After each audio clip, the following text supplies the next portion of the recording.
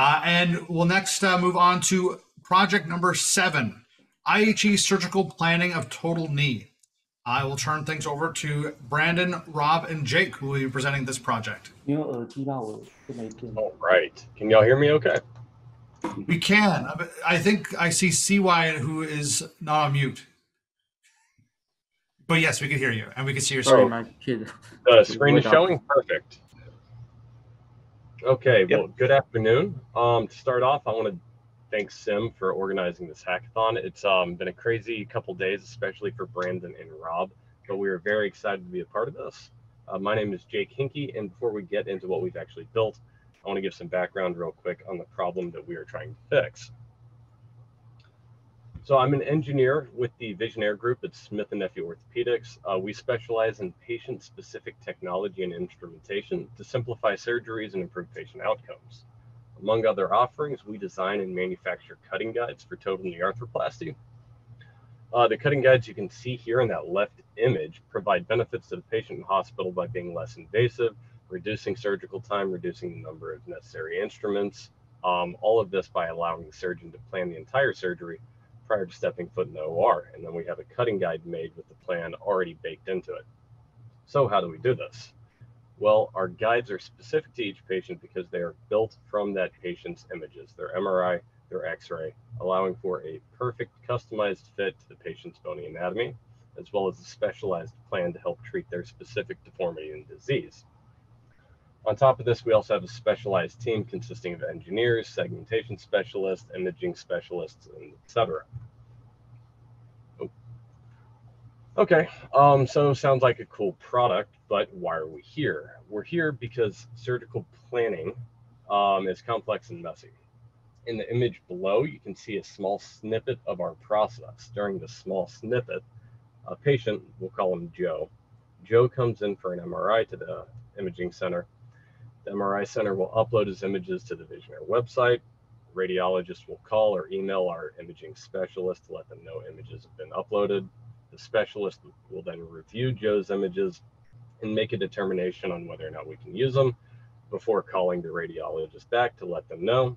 The specialist then has to get in touch with the segmentation team. At some point, an engineer is brought in, back to the radiologist, to the surgeon, so on and so forth. It gets very messy. All this time externally on our website, you will just see an in process. Essentially, the process becomes a black box. As you can imagine, all it takes is one person to mistype, miss an email, not be by their phone, etc. Delays begin to occur. Even with a team as good as ours, mistakes can still happen with a process that is so manual, has so many moving parts, etc. If images are uploaded, nobody notices, they may not be reviewed for a few days. If there is too much motion, Joe may have to come back in for an MRI well after the original is taken, and we can only hope that he doesn't live several hours away. I've seen it happen. Um, this obviously becomes very expensive for us, for Joe, for everyone involved due to all the wasted time tracking down missing data, tracking down people to get images re-uploaded. So our solution, which Brandon's going to walk through here in just a second, is an automated system that will alert or message the appropriate people both internally and externally whenever processes have been completed successfully. We hope to prevent the human error that's inherent in a manual system such as ours, while also removing this black box effect that our customers see and reducing the burden on radiologists and patients who use our product. Our system will also log the movements of each project, including the images and all PHI, which gives us more data, which is always very exciting. Uh, with this data and a full audit trail, we hope to be able to recognize problems as they arise, respond more quickly. Um, this will prevent false acceptance of MRIs with too much movement or any other issue.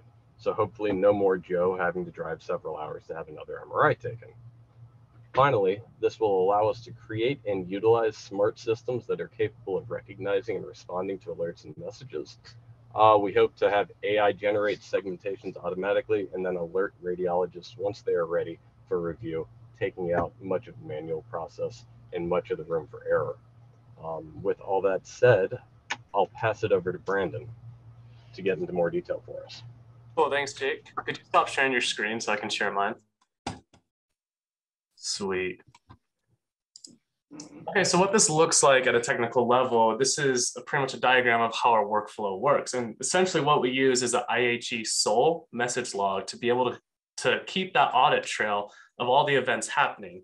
And these SOLE encodings are encoded as FHIR JSONs to be able to be streamlined across the entire process.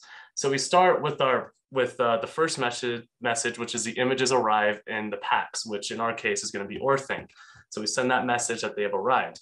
Then the next step is that the segmentation then begins. The AI starts its process, it sends a message, but then there's a checkpoint here to see if the if there's an error or not to see if the image can even be uh, segmented or not. Then once that AI completes, it sends that third message, and then we go later down the line and then create that DICOM seg and send it back into the PACS and send another message that the segmentations have arrived in the PACS. And then finally, we then push that data to the radiologist's workstation and send an HL7 uh, prioritization notification to the clinician to let them know that the, that the segmentations are available in their workstation.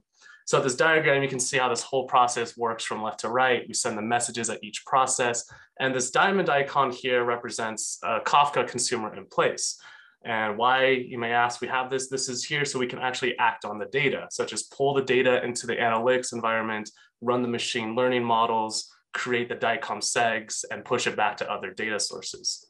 And so, of course, this process, full, like how it's going to work in production, it's going to be fully automated. But here I'm going to walk you through how it kind of breaks down step by step. So in this Jupyter notebook, um, here I initialize our connection to the Orthanc server. And I have these methods for getting the time to record it into the FHIR JSON message and also publish our JSON to the SOLE server to, to keep, keep track of those audit logs. And so we start with having the DICOM data locally. Here I prepare the DICOM data as a zip archive. And before um, we do anything, we got to draft the, the FHIR JSON message with the SOLE encoding. So we need to refer to what image we're exactly pushing to the, to the PACS. And so here I grab the series instance UID along with the actual value of it. And here I load the JSON templates of what this FHIR JSON looks like. It looks similar to this, um, here we modify it to record the actual values of the image that's being used. Uh, finally, then we, we send uh, the image to our PACS. And this process, you know, it, once it finishes, you know, we can see in our OHIF Orthanc viewer that the image is there. It, it, looks good. So then finally, we then send our SOLE message to log that event has happened. And here I record the date time that happens the moment, you know, the data has been sent to the server you know, we then send a post message to the SOLE server and we get a response saying it's all good, message is valid, and everything looks good. And so pretty much this process happens automatically for every single step in, in the whole workflow to segmentation, to notifying the radiologist. And now I'm gonna hand off the rest of the demonstration to Rob Oakes, who can show more of uh, the cool things that happened in the end application.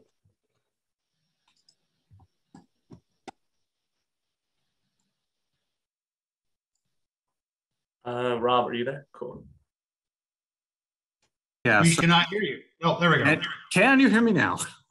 Yeah.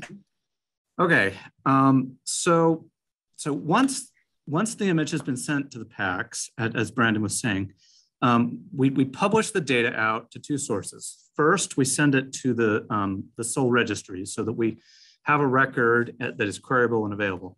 But we send a second copy um, to Kafka so that we can trigger downstream processes and, and allow for things to happen with as little latency as possible.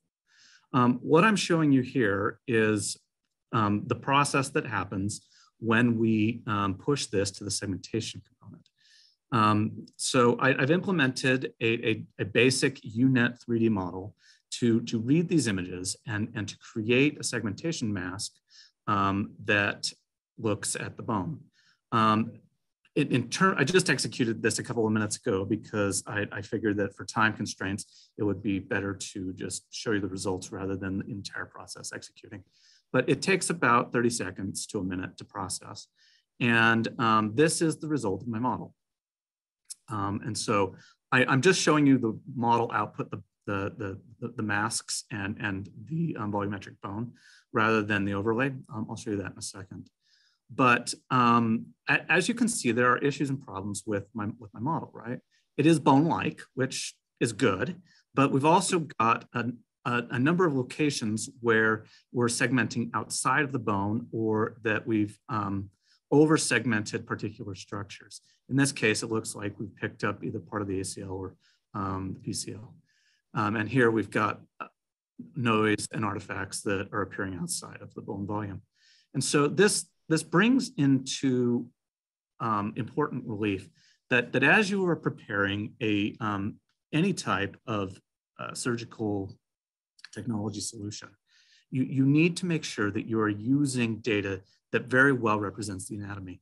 And, and that means involving outside experts such as radiologists and others who can review and provide feedback on this.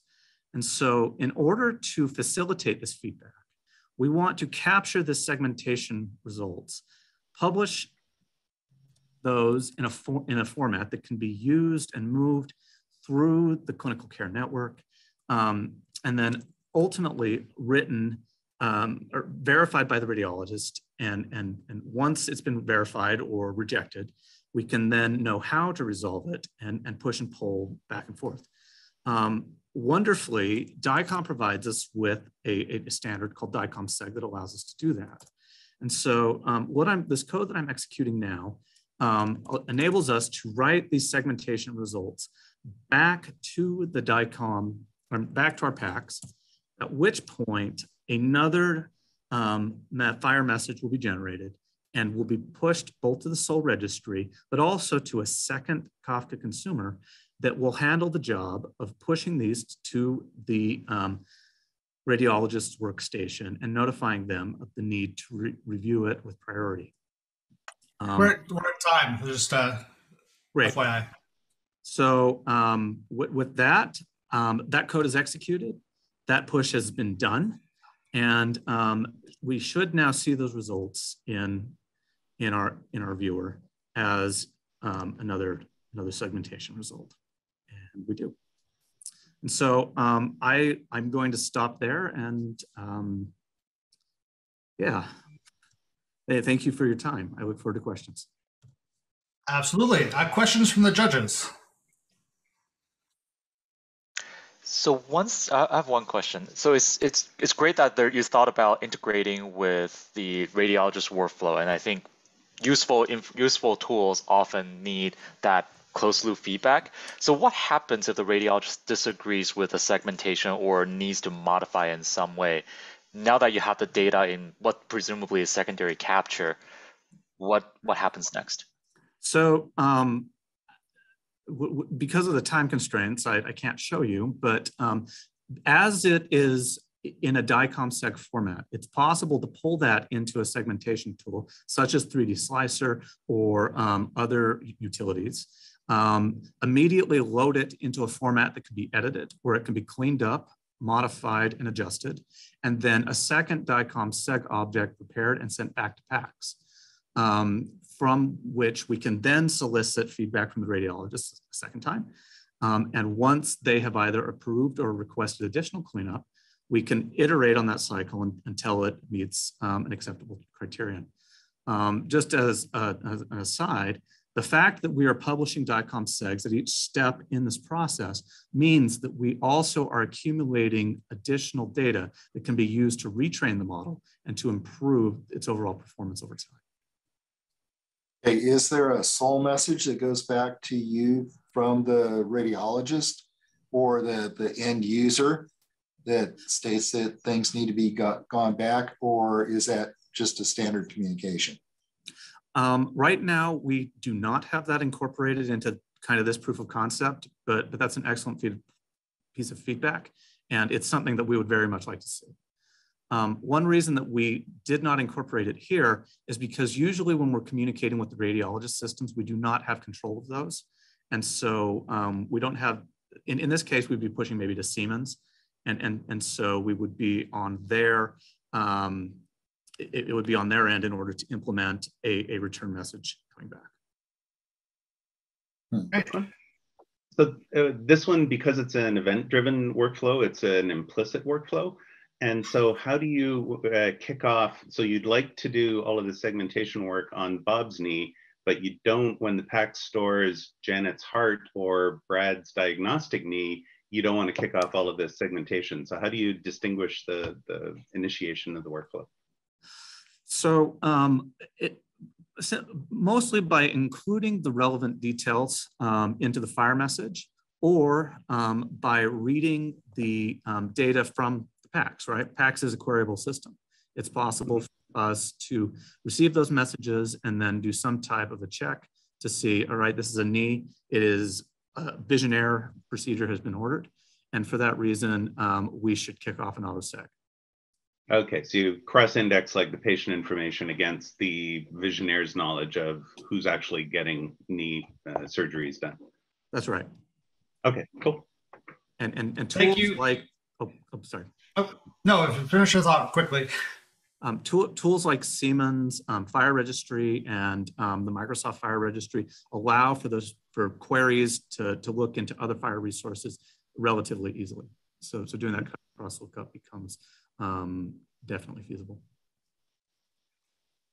Okay. Thank you so much, Team Seven. That was IHE Surgical Planning of Total Knee.